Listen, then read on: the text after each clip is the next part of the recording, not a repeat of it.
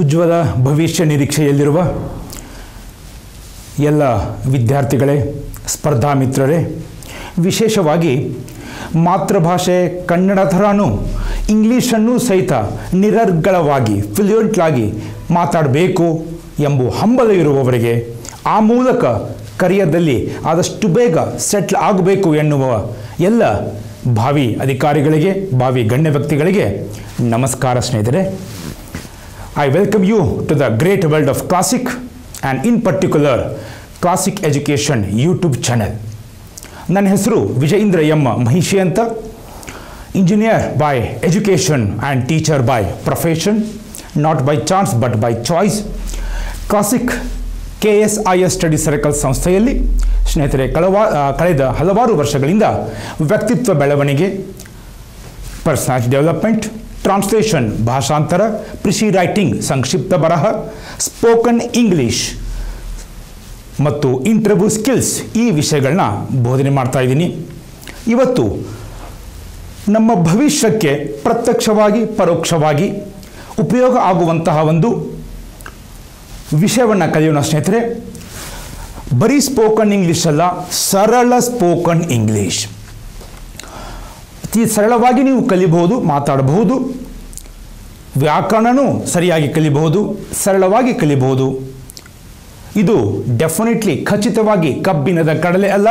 ನಿಮಗೆ ಸುಳಿದ ಬಾಳೆ ಬಾಳೆಹಣ್ಣಾಗೆ ನಿಮಗೆ ಕೊಡ್ತೇನೆ. ಅದಕ್ಕೆ ಅದರ ಹೆಸರು ಸರಳ spoken English I mean it ಅದಕ್ಕೆ ಅರ್ಥ ಇದೆ. ಓಕೆ ಇನ್ನು ನಿಮಗೆ ಗೊತ್ತಿರೋಂಗೆ ಸ್ಪೋಕನ್ ಇಂಗ್ಲೀಷ್ ಒಂದು ಇಂಗ್ಲೀಷ್ ವಾಕ್ಯ ರಚಿಸಬೇಕು, ಬರೀಬೇಕು, ಆ ಮೂಲಕ ಮಾತಾಡಬೇಕಂತಂದರೆ, ಸ್ನೇಹಿತರೆ ಒಂದು ವಾಕ್ಯ ರಚನೆಗೆ, ಒಂದು ಭಾಷಾಂತರಕ್ಕೆ ಎರಡು ಮುಖಗಳು ಇರ್ತವೆ. ಒಂದು ವ್ಯಾಕರಣ, ಒಂದು ಪದ ಸಂಪತ್ತು. Grammar and vocabulary okay vocabulary ಅವನು ಸಹಿತ ಕಲಿಯುವಂಥದ್ದು. ಆದರೆ ಎಷ್ಟೋ ಜನ ಗ್ರಾಮರ್ ಅಂದ ತಕ್ಷಣ ಅಂಜಿಕೊಳ್ಳುವ ಪ್ರವೃತ್ತಿ, ಹೆದರುವ ಪ್ರವೃತ್ತಿ ಒಟ್ಟು ಕಾರಣ ಇಲ್ಲ. You can learn very easily ಅದಕ್ಕೆ ಇದು ನಮ್ಮ ಕೋರ್ಸ್ ಹೆಸರು ಸರಳ ಸ್ಪೋಕನ್ ಇಂಗ್ಲೀಷ್ ಸರಳ ಇಂಗ್ಲೀಷ್ ವ್ಯಾಕರಣದ ಕಲಿಕೆಯೊಂದಿಗೆ. Okay my dear friends very simple very easy I will make it very easy for you ಇನ್ನು ಬಹಳ ಮಹತ್ವದ್ದು ನಿಮ್ಮ ಮನೋಭಾವ, ನಿಮ್ಮ ಚಿಂತನೆಯನ್ನು, ನಿಮ್ಮ ಮೈಂಡ್ ಸೆಟ್ಟನ್ನು ಮೊದಲು ಪಾಸಿಟಿವ್ ಆಗಿ ಮಾಡ್ಕೊಳ್ಳಿ. ಏನು? ನಾನು ಇಂಗ್ಲೀಷ್ ಸರಾಗವಾಗಿ ಮಾತನಾಡಬಲ್ಲೆ.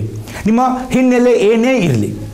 ಯಾವ ಎಜುಕೇಷನ್ನು, ಯಾವ ಊರು, ಏನೂ ಕೇಳ್ತಾ ಇಲ್ಲ. ಯಾವ ಮೀಡಿಯಮ್ ಯಾವುದೇ ಮೀಡಿಯಮ್ ಇದ್ರೂ ಯಾವುದೇ ಹಳ್ಳಿ ಇದ್ರೂ ಯಾವುದೇ ಊರು ಇದ್ರೂ ನೀವು ಇವತ್ತು ನೀವು ನಿರ್ಧಾರ ಮಾಡಿದರೆ ನಾನು ಇಂಗ್ಲೀಷ್ ಮಾತಾಡಬಲ್ಲೆ ಅಂತಂದರೆ ಮಾತಾಡಬಹುದು. ಅದಕ್ಕೆ ಬೇಕಾಗುವ ಕೆಲವು ವಿಷಯಗಳನ್ನ ಇವತ್ತು ನಾನು ನಿಮ್ಗೆ ಕೊಡ್ತಾ ಇದ್ದೀನಿ. ಅದನ್ನೇ ಪ್ರಾಕ್ಟೀಸ್ ಮಾಡ್ತಾ ಮಾಡ್ತಾ ಮಾಡ್ತಾ ಹೋದರೆ definitely we can speak a fluent English ಒಂದು ತಿಳ್ಕೊಳ್ಳೋಣ ಸ್ನೇಹಿತರೆ, ಒಂದು ಭಾಷೆ ಅಂದಮೇಲೆ ವ್ಯಾಕರಣ ಇರುತ್ತೆ, ನಿಯಮ ಇರುತ್ತೆ, ನಿಯಮಕ್ಕೆ ಹಲವಾರು ಅಪವಾದಗಳು ಎಕ್ಸೆಪ್ಷನ್ ಇರ್ತವೆ. ಇನ್ನು ಒಂದೇ ವಾಕ್ಯವನ್ನು ಹಲವಾರು ರೀತಿ ರಚಿಸಬಹುದು. ಒಂದೇ ಪದಕ್ಕೆ ಹಲವಾರು ಅರ್ಥಗಳು. ಹೀಗಾಗಿ ನಾನು ಬಳಸಿದ ಒಂದು ಪದದ ಸಮಾನಾರ್ಥಕ ಪದ ನಿಮ್ಮಲ್ಲಿ ಬಂದರೆ ಅದನ್ನೂ ಬಳಕೆ ಮಾಡ್ಬೋದು. ಹೀಗಾಗಿ ಅದೆಲ್ಲ ಬಂದಾಗ ಕಾಳಜಿ ಟೆನ್ಷನ್ ಮಾಡೋದು ಬೇಡ okay we can learn simply okay so ಹೀಗಾಗಿ let's learn this spoken English with very simplicity very simple simple formulas my dear friends okay ಇನ್ನು, ಇದನ್ನು ಕಲಿಬೇಕಂದ್ರೆ ಪ್ರಪ್ರಥಮವಾಗಿ ಸ್ನೇಹಿತರೆ ತ್ರೀ ಮೇನ್ ಪಿಲ್ಲರ್ಸ್ ಮೂರು ಮೂಲ ಕಂಬಗಳು. ವಿಶೇಷವಾಗಿ ನಾವು ನಮ್ಮ ಮಾತೃಭಾಷೆ ಕನ್ನಡದಿಂದ ಮೈಂಡ್ನಲ್ಲಿ ಇಂಗ್ಲೀಷಿಗೆ ಮೈಂಡ್ನಲ್ಲೇನೋ ಅಥವಾ ಪೇಪರ್ ಮೇಲೇನೋ ವಾಕ್ಯವನ್ನು ಟ್ರಾನ್ಸ್ಲೇಟ್ ಮಾಡಿ, ಅದನ್ನು ಓದಿ, ಅದನ್ನು ನೆನಪಿಟ್ಟುಕೊಂಡು ಮಾತಾಡಬೇಕಾಗಿದೆ. ಹೀಗಾಗಿ ಆ ಇಂಗ್ಲೀಷ್ ಗ್ರಾಮರಿನ ಇಂಗ್ಲೀಷ್ ವ್ಯಾಕರಣದ ಮೂರು ಕಂಬಗಳು ಬಹಳ ಮಹತ್ವದ್ದು. ಓಕೆ ಯಾವ್ಯಾವು ಐ ನಿಮಗೆ ಗೊತ್ತಿರಬಹುದು. ಸಿಂ ಮೀನ್ ಪ್ರೆಸೆಂಟ್ ಪಾಸ್ಟ್ ಮತ್ತು ಫ್ಯೂಚರ್ ಟೆನ್ಸ್ ಓಕೆ ಇನ್ನು ಪ್ರತಿಯೊಂದು ಟೆನ್ಸಲ್ಲಿ ಪ್ರೆಸೆಂಟ್ ಟೆನ್ಸ್ ವರ್ತಮಾನ ಕಾಲ ಪಾಸ್ಟ್ ಟೆನ್ಸ್ ಭೂತಕಾಲ ಫ್ಯೂಚರ್ ಟೆನ್ಸ್ ಭವಿಷ್ಯತ್ ಕಾಲ, ಪ್ರತಿಯೊಂದು ಕಾಲದಲ್ಲಿಯೂ ನಾಲ್ಕು ನಾಲ್ಕು ವಿಧಗಳಿದ್ದಾವೆ ಸ್ನೇಹಿತರೆ. ಓಕೆ ಉದಾಹರಣೆ ನಾನು ಅಭ್ಯಾಸ ಮಾಡುತ್ತೇನೆ. ಈ ಅಭ್ಯಾಸ ಮಾಡುತ್ತೇನೆ ಪದವನ್ನು ಇಂಗ್ಲಿಷ್ ವ್ಯಾಕರಣದ ದೃಷ್ಟಿಯಿಂದ, ಕಾಲಗಳ ದೃಷ್ಟಿಯಿಂದ ಹನ್ನೆರಡು ಥರ ಬರೀಬೋದು. ಓಕೆ? ಅಭ್ಯಾಸ ಮಾಡುತ್ತೇನೆ, ಅಭ್ಯಾಸ ಮಾಡುತ್ತಿದ್ದೇನೆ, ಅಭ್ಯಾಸ ಮಾಡಿದ್ದೇನೆ, ಅಭ್ಯಾಸ ಮಾಡುತ್ತಲೇ ಇದ್ದೇನೆ. ಫೋರ್ ಟೈಪ್ಸ್ ಆಫ್ ಪ್ರೆಸೆಂಟೆನ್ಸ್ ಅಭ್ಯಾಸ ಮಾಡಿದೆ, ಅಭ್ಯಾಸ ಮಾಡುತ್ತಿದ್ದೆ, ಅಭ್ಯಾಸ ಮಾಡಿದ್ದೆ, ಅಭ್ಯಾಸ ಮಾಡುತ್ತಾ ಇದ್ದೆ. Four types of past tense ಅಭ್ಯಾಸ ಮಾಡುವೆನು, ಅಭ್ಯಾಸ ಮಾಡುತ್ತಿರುವೆನು, ಅಭ್ಯಾಸ ಮಾಡಿರುವೆನು, ಅಭ್ಯಾಸ ಮಾಡುತ್ತಾ ಇರುವೆನು. ಹಂತ ಹಂತವಾಗಿ ಸಕಾರಾತ್ಮಕ ಮನೋಭಾವದಿಂದ ನಾನು ಕಲಿಯಬಲ್ಲೆ, ನಾನು ಇಂಗ್ಲೀಷ್ ಮಾತಾಡಬಲ್ಲೆ, ಪ್ರಯತ್ನ ಮಾಡಬಲ್ಲೆ ಅಂತ ಮನೋಭಾವದಿಂದ ಪ್ರಯತ್ನ ಮಾಡ್ತಾ ಹೋದರೆ ಈ ಹನ್ನೆರಡು ಟೆನ್ಸ್ಗಳಲ್ಲಿ ನಾವು ವಾಕ್ಯಗಳನ್ನ ರಚಿಸ್ಬೋದು ಆದರೆ ಆ ಹನ್ನೆರಡು ಥರಕ್ಕೆ ಮೂರು ಕಾಲಗಳು ಬಹಳ ಮೂಲವಾದದ್ದು. ಓಕೆ ಎಲ್ಲ ಸೇರಿ ಒಟ್ಟಿಯಾಗಿ ಪ್ರೆಸೆಂಟ್ ಪಾಸ್ಟ್ ಮತ್ತು future tense my dear friends ಅದರಲ್ಲಿ ಪ್ರಪ್ರಥಮವಾಗಿ ಇವತ್ತು ಸಿಂಪಲ್ ಪ್ರೆಸೆಂಟ್ ಟೆನ್ಸ್ ಆ ಹನ್ನೆರಡು ಥರದಲ್ಲಿ ಮೊದಲೇ ಥರ ಮಾತ್ರ ಕಲಿಯೋಣ. ಓಕೆ ಎಲ್ಲ ಒಮ್ಮೆ ಕಲಿದು ಕಾಂಪ್ಲೆಕ್ಸಿಟಿ ಅಥವಾ ಸಂಕೀರ್ಣತೆಗಳನ್ನ ಮಾಡ್ಕೊಳ್ಳೋದು ಬೇಡ. ಸರಳವಾಗಿ ಕಲಿಯೋಣ ಸ್ನೇಹಿತರೆ. Today we learn simple present tense ಅದರಲ್ಲೂ ಒಂದು ಅಥವಾ ಎರಡು ಸರಳವಾದ ಪಾಯಿಂಟ್ಸ್ಗಳನ್ನ ತಿಳ್ಕೊಳ್ಳೋಣ. ಓಕೆ ಸಿಂಪಲ್ ಪ್ರೆಸೆಂಟ್ ಟೆನ್ಸ್ ಇದರ ಸರಳ ವ್ಯಾಕರಣ ನಿಯಮ ಏನು? Simple grammar rule my dear friends main verb ಏನು ಸರಿದು ಮೇನ್ ವರ್ಬ್ ಸಿ ಮುಖ್ಯವಾಗಿ ಕ್ರಿಯಾಪದಗಳು ಎರಡು ಥರ ಇರ್ತವೆ. ಒಂದು ಆಕ್ಷನ್ ಮಾಡುವಿಕೆ, ಕ್ರಿಯೆ ಇರುವಂಥದ್ದು. ಓದುವುದು ರೀಡ್ ಬರೆಯುವುದು ರೈಟ್ ಜಿಗಿಯುವುದು ಜಂಪ್ ಎಟ್ಸೆಟ್ರಾ ಇದಕ್ಕೆ ಸಪೋರ್ಟ್ ಆಗಿ ಹಿಂದ್ಗಡೆ ಕೆಲವೊಮ್ಮೆ is are am do does has have ಅಂತ ಬರ್ತವೆ. ಅವು helping verb so simple present ಟೆನ್ಸಲ್ಲಿ ಸಾಮಾನ್ಯ ವರ್ತಮಾನ ಕಾಲದಲ್ಲಿ ಮೇನ್ ವರ್ಬ್ ಮುಖ್ಯ ಕ್ರಿಯಾಪದ ಆಕ್ಷನ್ ಇರುವಂಥದ್ದು ಓಕೆ ಇದು ಬದಲಾವಣೆ ಆಗೋದಿಲ್ಲ ಡಸ್ ನಾಟ್ ಚೇಂಜ್ ಯಾವಾಗ? ಐ ಯು ದೇ ಮತ್ತು ವಿ ಸರ್ವನಾಮಗಳನ್ನು ಬಳಕೆ ಮಾಡಿದಾಗ. Main verb does not change when we use I you they ಮತ್ತು ವಿ ನಾನು ನೀನು ಮತ್ತು ನೀವು ಎರಡಕ್ಕೂ ಯೂ ಮಾಡ್ತೀವಿ, ಬಳಕೆ ಮಾಡ್ತೀವಿ. That is singular and plural they ಅವರು ಅಥವಾ ಅವುಗಳು ವಿ ನಾವು ಅಥ, ನಾವು. ಓಕೆ ಈ ನಾಲ್ಕು ಸರ್ವನಾಮಗಳನ್ನ ಉಪಯೋಗ ಮಾಡಿ ಸಿಂಪಲ್ ಪ್ರೆಸೆಂಟೆನ್ಸಲ್ಲಿ ಒಂದು ವಾಕ್ಯವನ್ನು ಬರೀಬೇಕಾಗಿದೆ, ಆ ಮೂಲಕ ಹೇಳಬೇಕಾಗಿದೆ.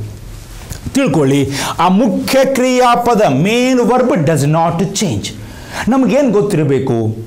ಓದುವುದಕ್ಕೆ ಏನಂತೀವಿ ರೀಡ್ ಬರೆಯುವುದಕ್ಕೇನಂತೀವಿ? ರೈಟ್ ಆ ರೀಡ್ ಮತ್ತು ರೈಟ್ ಕ್ರಿಯಾಪದಗಳು main verbs they don't change ಅವು ಬದಲಾವಣೆ ಆಗೋದಿಲ್ಲ ಸಿಂಪಲ್ ಪ್ರೆಸೆಂಟೆನ್ಸಲ್ಲಿ ಓಕೆ ಮಾಡಿರಿ ಫ್ರೆಂಡ್ಸ್ ಇನ್ನು ಮೇನ್ ವರ್ಬ್ ಮುಂದೆ ಎಸ್ ಅಥವಾ ಇ ಎಸ್ ಅಥವಾ ಆ ಇ ಎಸ್ ಸೇರಿಸು. ಯಾವಾಗ? ಹಿ ಶಿ ಇಟ್ಗಳನ್ನ ಬಳಕೆ ಮಾಡಿದಾಗ. ತೃತೀಯ ವಾಚಕ ಏಕವಚನ. ಅವನು, ಅವಳು, ಅದು. ಬಳಕೆ ಮಾಡಿದಾಗ ಆ ಕ್ರಿಯಾಪದಗಳ ಮುಂದೆ ಸೂಕ್ತವಾಗಿ, ಸಾಂದರ್ಭಿಕವಾಗಿ S E S I S ಅನ್ನು ಬಳಸುವಂಥದ್ದು. Okay yes again main verb does not change I you they we? Main verb ಮುಂದೆ S E S I S ಸೇರಿಸು. He she it very simple rule for example let us take write write ಅಂದರೆ ಬರೆಯುವುದು. ಹೇಳಬೇಕಾಗಿದೆ, ನಾನು ಬರೆಯುತ್ತೇನೆ. To start with take simple simple sentences gradually ಕ್ರಮೇಣ ಹಂತ ಹಂತವಾಗಿ will go to longer sentences ಹೀಗಾಗಿ ಸ್ನೇಹಿತರೆ ರೈಟ್ ನಾನು ಬರೆಯುತ್ತೇನೆ ಅಂತ ಹೇಳಬೇಕಾಗಿದೆ. ಆಯು ದೇವಿ? ನಾನು ಬರೆಯುತ್ತೇನೆ ಐ ರೈಟ್ ನೀನು ಬರೆಯುತ್ತಿ ಯು ರೈಟ್ ಅವರು ಬರೆಯುತ್ತಾರೆ ದೇ ರೈಟ್ ನಾವು ಬರೆಯುತ್ತೇವೆ ವಿ ರೈಟ್ ಬಹುವಚನ ನೀವು ಬರೆಯುತ್ತೀರಿ same you write verb does not change ಆದರೆ ಅವನು ಬರೆಯುತ್ತಾನೆ ಅಂತ ಹೇಳಬೇಕಾದ್ರೆ ಸ್ನೇಹಿತರೆ, ಹೀ ಮುಂದೆ ಏನು ಬರೀಬೇಕು? ರೈಟ್ಸ್ ಇಲ್ಲಿ ಏನು ಸೇರಿಸಿದ್ವಿ? ಎಸ್ ಇದು ಬಹಳ ಇಂಪಾರ್ಟೆಂಟ್ ನಾನು ಬರೆಯುತ್ತೇನೆ ಐ ರೈಟ್ ನೀನು ಬರೆಯುತ್ತಿ ಯು ರೈಟ್ ಓಕೆ ಆದರೆ ಅವನು ಬರೆಯುತ್ತಾನೆ ಹೀ ರೈಟ್ಸ್ ಅವಳು ಬರೆಯುತ್ತಾಳೆ ಶಿ ರೈಟ್ಸ್ ಅದು ಬರೆಯುತ್ತದೆ ಇಟ್ ರೈಟ್ಸ್ ಇಲ್ಲಿ ನಾವೇನು ಸೇರಿಸಿದ್ವಿ? ಎಸ್ ಇನ್ನು ಇನ್ನೊಂದು ಸಂದರ್ಭದಲ್ಲಿ ಸ್ನೇಹಿತರೆ ಓಕೆ ಈ ಎಸ್ ಸೇರಿಸುವಂಥದ್ದು. ಫಾರ್ ಎಕ್ಸಾಂಪಲ್ ಟೀಚ್ ಬೋಧನೆ ಮಾಡು, ಕಲಿಸು. ನಾನು ಕಲಿಸುತ್ತೇನೆ ಐ ಟೀಚ್ ನೀನು ಕಲಿಸುತ್ತಿ ಯು ಟೀಚ್ ಅವರು ಕಲಿಸುತ್ತಾರೆ they teach verb does not change ನಾವು ಕಲಿಸುತ್ತೇವೆ ವಿ ಟೀಚ್ ಆದರೆ ಅವನು ಕಲಿಸುತ್ತಾನೆ ಹೀ ಟೀಚಸ್ ಆಗತ್ತೆ ಸ್ನೇಹಿತರೆ. ಇಲ್ಲಿ ಏನು ಸೇರಿಸಿದ್ವಿ? ಇ ಎಸ್ ಓಕೆ ಇದಕ್ಕೂ ನಿಯಮ ಇದ್ದಾವೆ ಆದರೆ ಫಸ್ಟ್ ಸ್ಟೆಪ್ಪಲ್ಲಿ ಇಷ್ಟು ಮಾತ್ರ ತಿಳ್ಕೊಳ್ಳೋಣ. He she it simple present tense ಇದ್ದಾಗ ವರ್ಬ್ ಮುಂದೆ, ಮುಖ್ಯ ಕ್ರಿಯಾಪದ ಮುಂದೆ ಎಸ್ ಅಥವಾ ಇ ಎಸ್ ಒಮ್ಮೊಮ್ಮೆ ಆ ಇ ಎಸ್ ಅನ್ನು ಸೇರಿಸಬೇಕು. ಓಕೆ ಮೈ ಡಿಯರ್ ಫ್ರೆಂಡ್ಸ್ ಅದಾದಮೇಲೆ ಇನ್ನೂ ಕೆಲವು ಸಂದರ್ಭಗಳಲ್ಲಿ ಐ ಎ ಎಸ್ ಸೇರಿಸುವಂಥದ್ದು. ಫಾರ್ ಎಕ್ಸಾಂಪಲ್ ನಾನು ಮದುವೆಯಾಗುತ್ತೇನೆ ಐ ಮ್ಯಾರಿ ನೀನು ಮದುವೆಯಾಗುತ್ತಿ ಯು ಮ್ಯಾರಿ ದೇ, ಅವರು ಮದುವೆಯಾಗುತ್ತಾರೆ ದೇ ಮ್ಯಾರಿ ನಾವು ಮದುವೆಯಾಗುತ್ತೇವೆ ವಿ ಮ್ಯಾರಿ ಆದರೆ ಅವನು ಮದುವೆಯಾಗುತ್ತಾನೆ ವಾಟ್ ಹ್ಯಾಪನ್ಸ್ ಹಿ ಮ್ಯಾರೀಸ್ ಈ ರೀತಿ ಒಂದೊಂದೇ ಕ್ರಮೇಣವಾಗಿ ಎಕ್ಸಾಂಪಲ್ ನಾವು ಕಲಿತಾ ಹೋದಾಗ, ಪುನರ್ಮನನ ರಿವಿಷನ್ ಮಾಡ್ತಾ ಹೋದಾಗ okay definitely we can learn okay yes so this is a simple rule my dear friends of a simple present tense okay, ಏನಾಯಿತು? I again repeat I you they ಮತ್ತು ವಿ ಸರ್ವನಾಮ ಬಳಕೆ ಮಾಡಿದಾಗ ಮುಖ್ಯ ಕ್ರಿಯಾಪದ ಬದಲಾವಣೆ ಆಗೋದಿಲ್ಲ. ನಮಗೆ ಒಂದೇ ಒಂದು ಗೊತ್ತಿರಬೇಕು. ಯಾವ ಇಂಗ್ಲೀಷ್ ಕ್ರಿಯಾಪದಕ್ಕೆ? ಯಾವ ಇಂಗ್ಲಿಷ್ ಕ್ರಿಯಾಪದವನ್ನು ಯಾವ ಕನ್ನಡ ಕ್ರಿಯಾಪದಕ್ಕೆ ಉಪಯೋಗ ಮಾಡಬೇಕು? ಫಾರ್ ಎಕ್ಸಾಂಪಲ್ ಸಿಂಪಲ್ ಸಿಂಪಲ್ ತೊಗೊಂಡಿದ್ದೀನಿ. ರೀಡ್ ಬರೆಯುವುದು ರೈಟ್ ಸಾರಿ ರೀಡ್ ಓದುವುದು ರೈಟ್ ಬರೆಯುವುದು ಜಂಪ್ ಜಿಗಿಯುವುದು, ಸಂಘಟಿಸುವುದು ಆರ್ಗನೈಸ್ ಪರಾರಿ ಆಗುವುದು ಫ್ಲೀ ಎಟ್ಸೆಟ್ರಾ ಎಟ್ಸೆಟ್ರಾ ಕ್ರಮೇಣವಾಗಿ ನೀವು ಹಲವಾರು ಪುಸ್ತಕಗಳನ್ನ ರೆಫರ್ ಮಾಡಿದಾಗ ಒಂದು ಡೈಲಿ ಹತ್ತು, ಇಪ್ಪತ್ತು, ನಿಮಗೆ ಗೊತ್ತಿರಲಾರದ ಕೆಲವೊಂದು ಕ್ರಿಯಾಪದಗಳನ್ನ ಗೊತ್ತು ಮಾಡ್ಕೋತಾ ಹೋದರೆ okay you can definitely be perfect in okay sentence formation and vocabulary right so ಈ ಎಲ್ಲ ಪಾಯಿಂಟ್ಸ್ಗಳನ್ನ ಯೂಸ್ ಮಾಡಿ ಮೈ ಡಿಯರ್ ಫ್ರೆಂಡ್ಸ್ ಈಗ ಒಂದು ಸೆಟ್ ನಮ್ಗೆ ಗೊತ್ತಾಯಿತು. ಇನ್ನೊಂದು ಗ್ರಾಮರ್ ರೂಲ್ ಏನು? ಡೂ ಮತ್ತೆ ಡಸ್ ಇವು ಮುಖ್ಯ ಕ್ರಿಯಾಪದನೂ ಹೌದು, ಇನ್ನು ಸಹಾಯಕ ಕ್ರಿಯಾಪದನೂ ಹೌದು ಓಕೆ ಹೇಳ್ತೀನಿ. ಡೂ ಮತ್ತೆ ಡಸ್ ಇವು ಎರಡು ವೀಸಬಲ್ ಕಾಣುವಂಥದ್ದು ವಾಕ್ಯಗಳಲ್ಲಿ. ಯಾವಾಗ? ನೆಗೆಟಿವ್ ಮತ್ತು ಕ್ವಶನ್ ವಾಕ್ಯಗಳನ್ನು ನಾವು ರಚಿಸಿದಾಗ. ಸೊ ಡೂ ಮತ್ತು ಡಸ್ ವೀಸಬಲ್ ಕಾಣುತ್ತದೆ ನೆಗೆಟಿವ್ ಮತ್ತು ಕ್ವಶನ್ ವಾಕ್ಯಗಳಲ್ಲಿ. ಅದೇ ಡೂ ಡಸ್ ಹಿಡನ್ ಅಡಗಿರುತ್ತದೆ ಪಾಸಿಟಿವ್ ವಾಕ್ಯಗಳಲ್ಲಿ. ಓಕೆ ಇನ್ನು ಡು ಯಾವಾಗ ಯೂಸ್ ಮಾಡಬೇಕು? ಆ ಯು ದೇ ಮತ್ತು ವಿ ಇದ್ದಾಗ. ಅಗೇನ್ ಹೀ ಶಿ ಇಟ್ ಇದ್ದಾಗ ಡಸ್ ಒಂದು ತಿಳ್ಕೊಂಬಿಡಿ ಮಾಡಿರ್ ಫ್ರೆಂಡ್ಸ್ ಸಿಂಪಲ್ ಪ್ರೆಸೆಂಟೆನ್ಸಲ್ಲಿ ಹೀ ಶಿ ಇಟ್ ಬಂದಾಗ ಏನೋ ವಿಶೇಷ, ಏನೋ ವಿಭಿನ್ನ. Something different something special okay ತೃತೀಯ ವಾಚಕ ಏಕವಚನ. So do I you they we does he she it okay this is a simple ಏನಿದು ಕಾಣುವುದು ಮತ್ತು ಅಡಗಿರೋದು okay yes let me take one positive sentence ನಾನು ಬರೆಯುತ್ತೇನೆ ಐ ರೈಟ್ ಇಲ್ಲಿ ಪಾಸಿಟಿವ್ ಸೆಂಟೆನ್ಸ್ ಸಕಾರಾತ್ಮಕ ವಾಕ್ಯ. ಸರ್ವನಾಮ ಮತ್ತು ಕ್ರಿಯಾಪದಗಳ ನಡುವೆ ಇಲ್ಲಿ ಆ್ಯಟ್ ಹೆಲ್ಪಿಂಗ್ ವರ್ಬ್ ಡೂ ಇರುತ್ತೆ, ಆದರೆ ಅಡಗಿರುತ್ತೆ, ಬರೆಯುವ ಅವಶ್ಯಕತೆ ಇಲ್ಲ. It indicates there is some action ಇನ್ನು ಇದೇ ವಾಕ್ಯವನ್ನು ನೆಗೆಟಿವ್ ವಾಕ್ಯ ಮಾಡೋಣ ಸ್ನೇಹಿತರೆ. ಒಂದು ತಿಳ್ಕೊಳ್ಳಿ, ಒಂದು ನೆಗೆಟಿವ್ ವಾಕ್ಯವನ್ನು ಮಾಡಬೇಕಂದ್ರೆ ಪಾಸಿಟಿವ್ ವಾಕ್ಯದಿಂದ ಅದರಲ್ಲಿ ಇರುವ ಸಹಾಯಕ ಕ್ರಿಯಾಪದದ ಮುಂದೆ ನಾಟ್ ಸೇರಿಸಬೇಕು. ನನಗೆ ಪ್ರೆಸೆಂಟ್ ಟೆನ್ಸಲ್ಲಿ ಬರೀಬೇಕಾಗಿದೆ ಸಿಂಪಲ್ ಪ್ರೆಸೆಂಟ್ ಟೆನ್ಸಲ್ಲಿ ನಾನು ಬರೆಯೋದಿಲ್ಲ. ಏನು ಮಾಡಬೇಕು? ಐ ಹೆಲ್ಪಿಂಗ್ ವರ್ಬ್ ಡೂ ಅದ್ರ ಮುಂದೆ ಏನು ಸೇರಿಸಬೇಕು? Not I do not write ಇಲ್ಲಿ ನೆಗೆಟಿವ್ ವಾಕ್ಯ ಇರೋದ್ರಿಂದ ಡೂ ವೀಸಬಲ್ ಡೂ ವೀಸಬಲ್ ಕೇಳಬೇಕಾಗಿದೆ ನನ್ನ ನಾನೇ. ನಾನು ಬರೆಯುತ್ತೇನೆ ಒಂದು ತಿಳ್ಕೊಳ್ಸಿ ಅಂದರೆ question sentences in English always start with W H H O W and helping verbs ಇಲ್ಲಿ ನಾನು ಬರೆಯುತ್ತೇನೆ ಅಂತ ಕೇಳಬೇಕಾಗಿದೆ.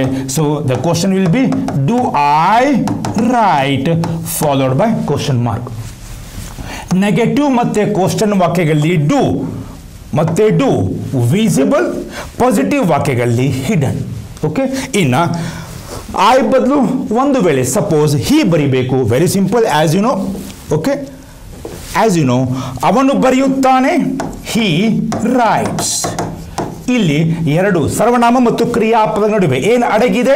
ಡಸ್ ಪಾಸಿಟಿವ್ ವಾಕ್ಯ ಇರೋದ್ರಿಂದ ಹಿಡನ್ ಅವನು ಬರೆಯುವುದಿಲ್ಲ he does not write does ಬಂದಮೇಲೆ ಮತ್ತೆ ಎಸ್ ಬರೋದಿಲ್ಲ ಹೀಗಾಗಿ ಡಸ್ ಬಂದಮೇಲೆ ಇಲ್ಲಿ ಮತ್ತೆ ಎಸ್ ಬರೋದಿಲ್ಲ it's only my dear friends right ಇನ್ನು ಅವನು ಬರೆಯುತ್ತಾನೆಯೇ?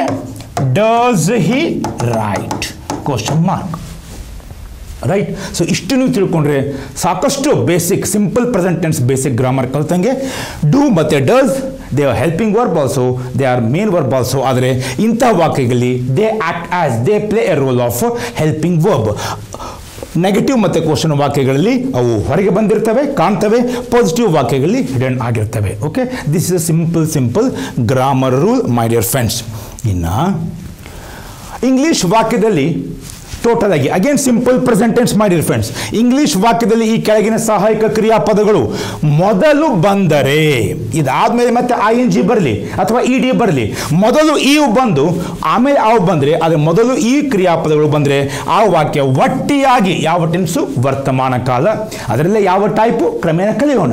For example is he is doing he is eating ಅದು ಅದರಲ್ಲೇ ಯಾವ ಟೆನ್ಸ್ ನೋಡ್ಕೊಳ್ಳೋಣ. ಆದರೆ ಮೊದಲು ಯಾವ್ದು ಬಂತು? ಈಸ್ ಹೀಗಾಗಿ ಟೋಟಲ್ ವಾಕ್ಯ ಯಾವ ಟೆನ್ಸು ಪ್ರೆಸೆಂಟ್ ಟೆನ್ಸ್ ಹಾಗೇನೆ ಇಂಗ್ಲೀಷ್ ವಾಕ್ಯದಲ್ಲಿ ಈ ಸಹಾಯಕ ಕ್ರಿಯಾಪದಗಳು ಮೊದಲ ಸ್ಥಾನದಲ್ಲಿ ಬಂದರೆ ಯಾಕಂದ್ರೆ ಹೇಳ್ತಾ ಇದ್ದೀನಿ ಅಂದರೆ ಐ ಹ್ಯಾವ್ ಎಂಟರ್ಡ್ ಅಂತ ಒಂದು ಸೆಂಟೆನ್ಸ್ ಬರುತ್ತೆ.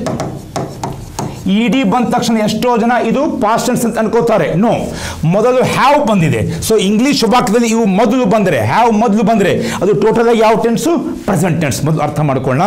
ಮುಂದೆ ನಿಮಗೆ ಹೇಳ್ತೀನಿ, ಇದು ಪ್ರೆಸೆಂಟ್ ಪರ್ಫೆಕ್ಟ್ ಟೆನ್ಸ್ ಆಗುತ್ತೆ.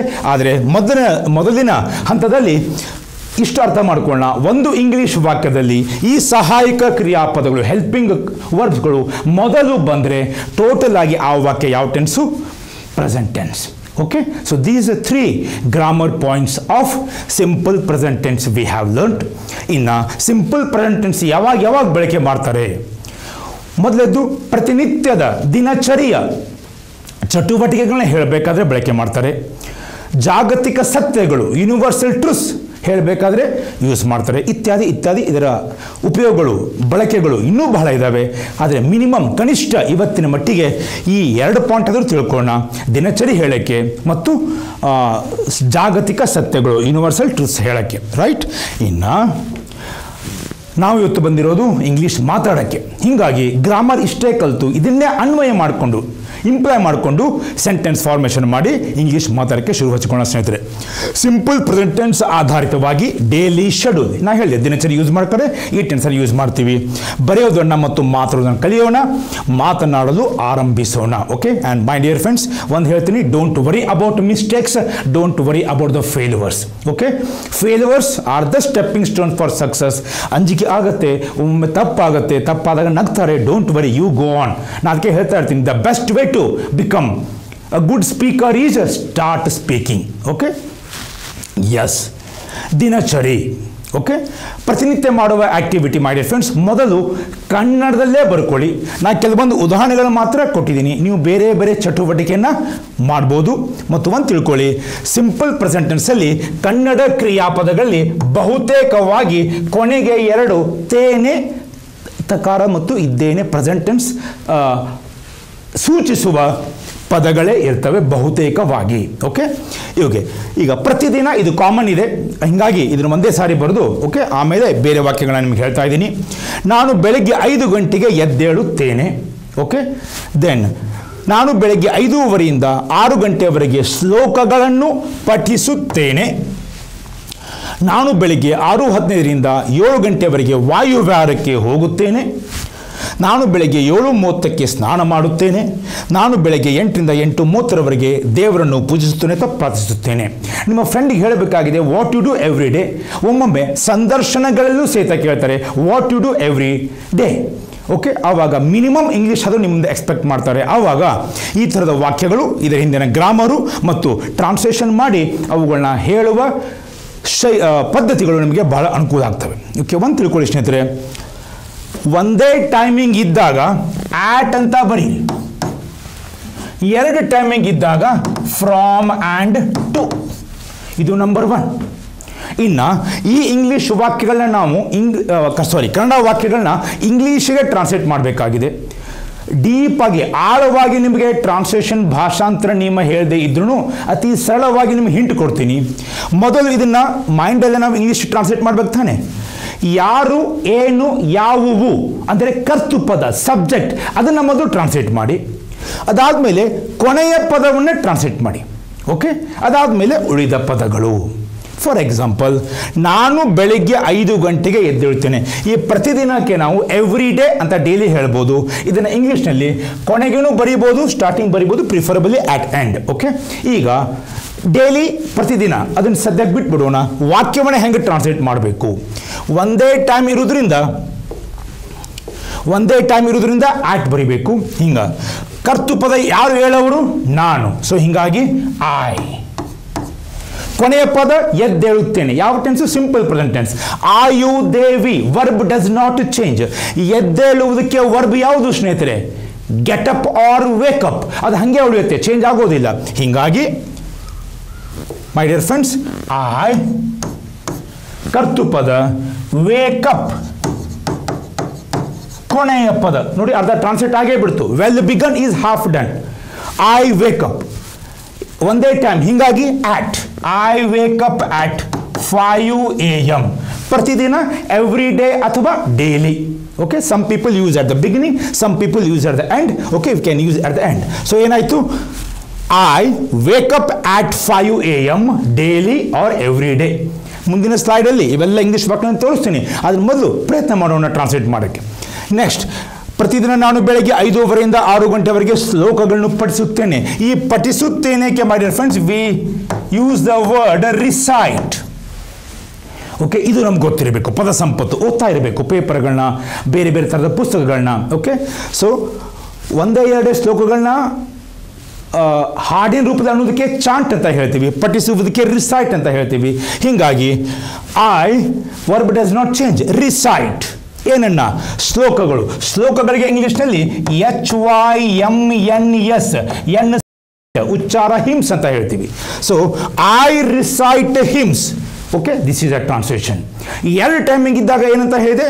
From and to from five thirty A M to six A M okay yes my friends I recite hymns from five thirty to six A M ಇನ್ನು ಮೂರನೇದು ಸ್ನೇಹಿತರೆ, ನಾನು ಬೆಳಗ್ಗೆ ಆರು ಹದಿನೈದರಿಂದ ಏಳರವರೆಗೆ ವಾಯುವ್ಯರಕ್ಕೆ ಹೋಗುತ್ತೇನೆ. ಕೊನೆ ಪದ ಯಾವುದಿದೆ?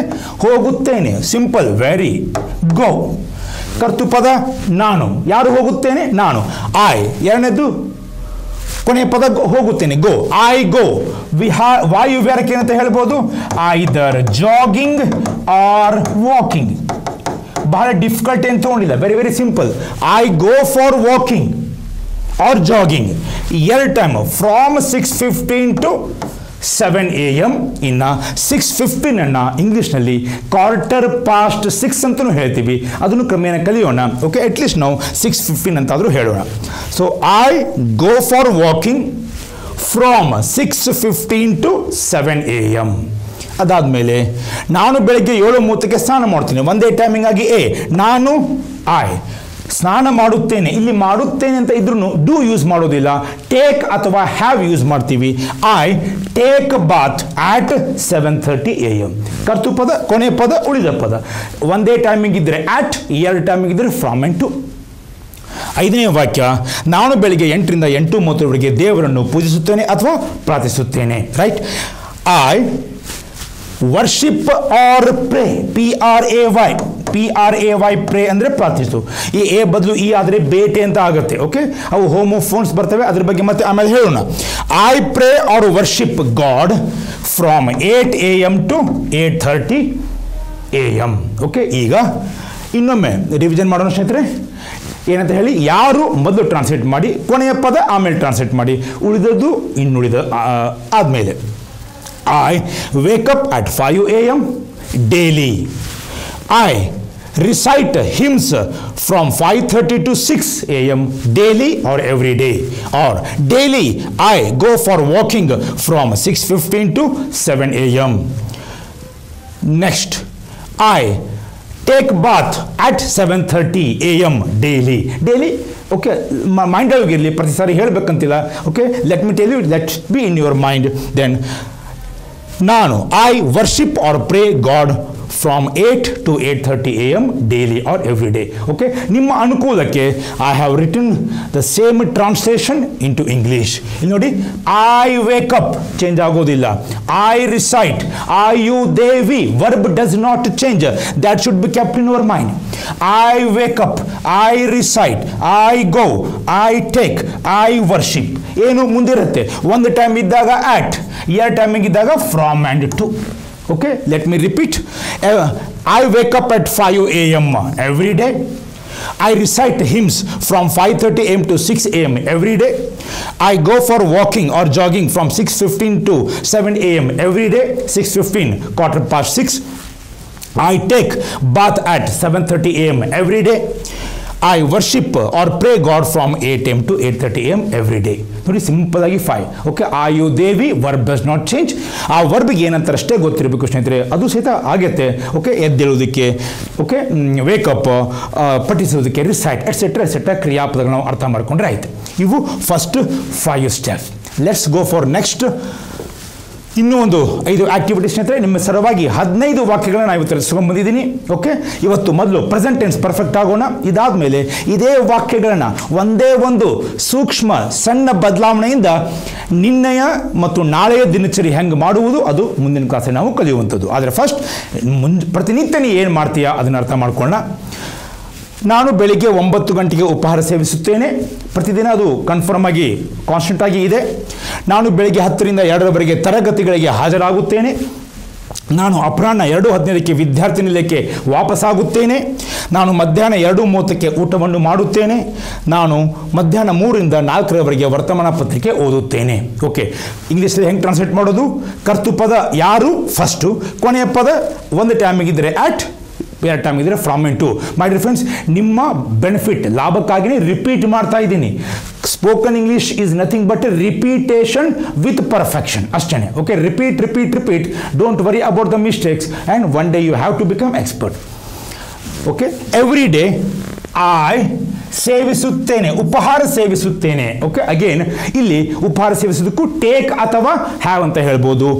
I take breakfast at nine A M every day ಅರ್ಥ ಆಯ್ತು ಸ್ನೇಹಿತರೆ so I take breakfast at nine A M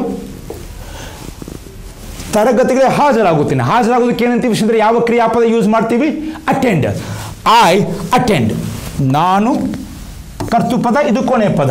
I attend classes from ten A M to two P M A M ante meridian P M post meridian ಇವು ಸಹಿತ ಅರ್ಥ ಮಾಡ್ಕೊಳ್ಳಿ. ನಾನು ಅಪರಾಹ್ನ ಎರಡು ಹದಿನೈದಕ್ಕೆ ವಾಪಸ್ ವಾಪಸ್ಸಾಗುತ್ತೇನೆ. ನಾನು ವಾಪಸ್ಸಾಗುತ್ತೇನೆ. ಕ್ರಿಯಾಪದ ಚೇಂಜ್ ಆಗೋದಿಲ್ಲ. ಆ ಅಂತಲೇ ಇದೆ. ಸೊ ವಾಪಸ್ಸಾಗುತ್ತೇನೆ ಏನು ಹೇಳ್ಬೋದು. ರಿಟರ್ನ್ ಅಂತ ಹೇಳ್ಬೋದು. ಇದು ಹಂಗೆ ಉಳಿಯುತ್ತೆ. So I return to hostel at two fifteen P M every day ನಾನು ಮಧ್ಯಾಹ್ನ ಎರಡು ಮೂವತ್ತಕ್ಕೆ ಊಟವನ್ನು ಮಾಡುತ್ತೇನೆ. ನಾನು ಊಟವನ್ನು ಮಾಡುತ್ತೇನೆ. I take lunch or I have my lunch at two thirty P M ನಾನು ವರ್ತಮಾನ ಪತ್ರಿಕೆ ಓದುತ್ತೇನೆ ಟೈಮ್ ಎರಡಿದೆ ಫ್ರಾಮ್ ಅಂಡ್ ಟು ಐ ಓದುತ್ತೇನೆ ಏನಂತೀವಿ ರೀಡ್ ಓಕೆ ಐ ರೀಡ್ ಏನನ್ನ ವರ್ತಮಾನ ಪತ್ರಿಕೆ ನ್ಯೂಸ್ ಪೇಪರ್ ಓಕೆ ಬರೀ ಪತ್ರಿಕೆ ಮ್ಯಾಗ್ಝಿನ್ ಬುಕ್ ಪುಸ್ತಕ.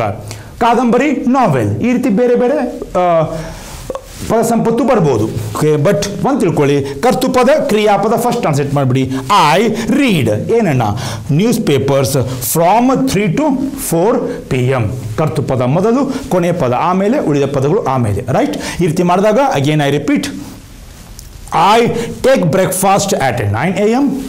daily or every day. I attend classes from 10 to 2 p.m. 10 a.m. to 2 p.m. every day. I return to hostel at 2:15 p.m. or quarter past 2 p.m. every day or daily. I take lunch at 2:30 p.m. every day.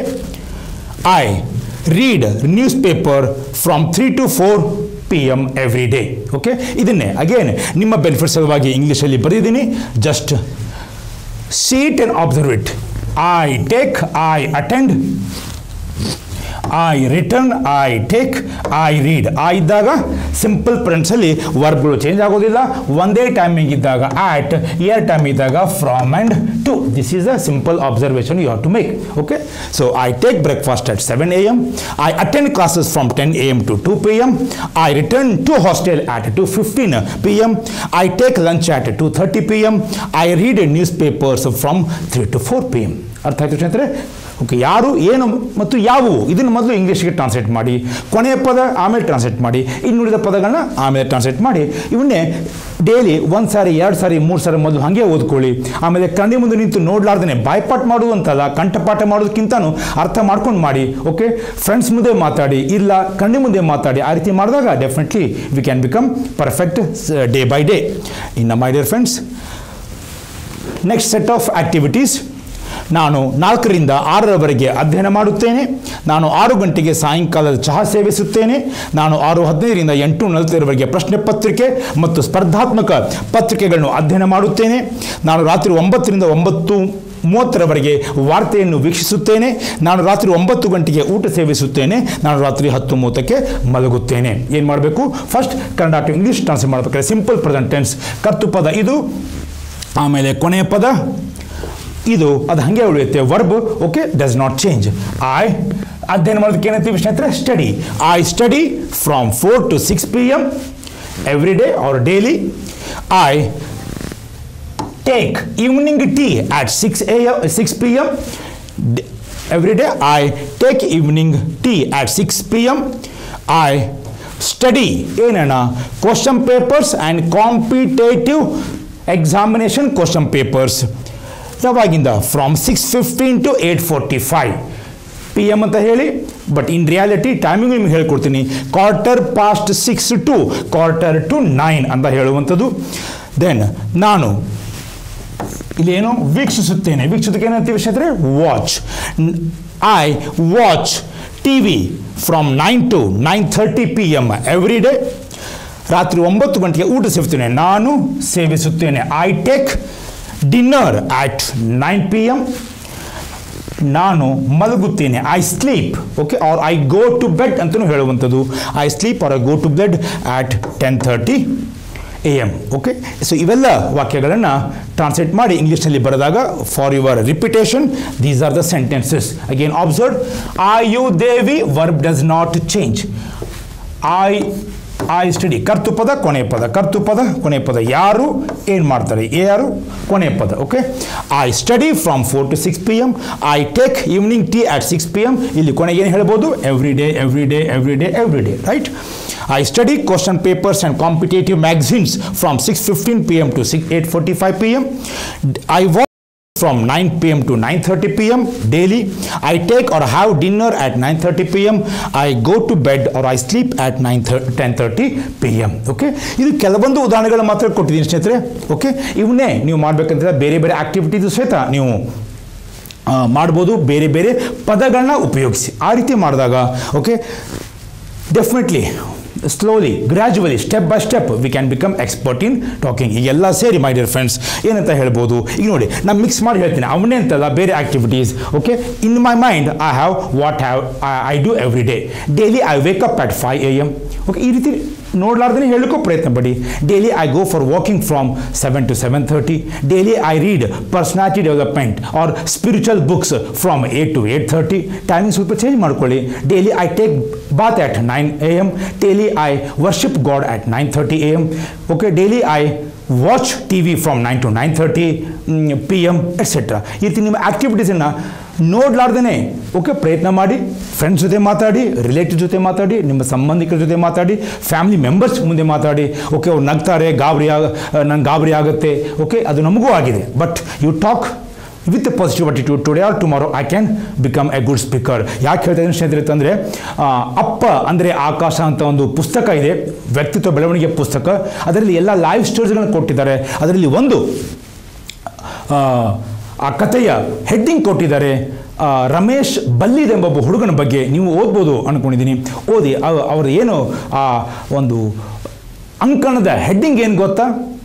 A ಕಾಯುತ್ತಿದ್ದ ಹುಡುಗ ಇವತ್ತು M A in English ಮೀರಿದವರನ್ನು ಮೀರಿದಂತೆ English ಮಾತಾಡ್ತಾ ಇದ್ದಾನೆ ಅಂತ. Today he speaking so nicely but ಅವರ education M A ಆಗಿಲ್ಲ. ಬಟ್ ನಾವು ಮಾತಾಡಬಲ್ಲೆ, ತಿಳ್, ತಿಳ್ಕೊಂಡು ಪ್ರಾಕ್ಟೀಸ್ ಮಾಡುವಂಥದ್ದು ಅದು ಬಹಳ ಮಹತ್ವದ್ದು. ಆ ರೀತಿ ನೀವು ಮಾಡಬಲ್ಲರಿ ಅಂತ ತಿಳ್ಕೊಂಡು ಮೈ ಫ್ರೆಂಡ್ಸ್ ಇವತ್ತು ಪ್ರೆಸೆಂಟೆನ್ಸ್ ಆಧಾರಿತವಾಗಿ ಹದಿನಾರು ವಾಕ್ಯಗಳನ್ನ ನಾವು ಹೆಂಗೆ ಹೇಳಬೇಕು, ಅದನ್ನು ಹೆಂಗೆ ಮೈಂಡಲ್ಲಿ ಟ್ರಾನ್ಸ್ಲೇಟ್ ಮಾಡಿ ಮಾತಾಡಬೇಕು ಅಂತ ಹೇಳಿಕೊಟ್ಟಿದ್ದೀನಿ. All together you can speak very fast okay ಒಮ್ಮೆಲೆ ಫಾಸ್ಟ್ ಬರೋದಿಲ್ಲ but try to speak one by one okay so ಈ ರೀತಿ ಮಾಡಿದಾಗ one day at other you can become a good English speaking person okay everything happens by practice ಅಂತ ಹೇಳಿ.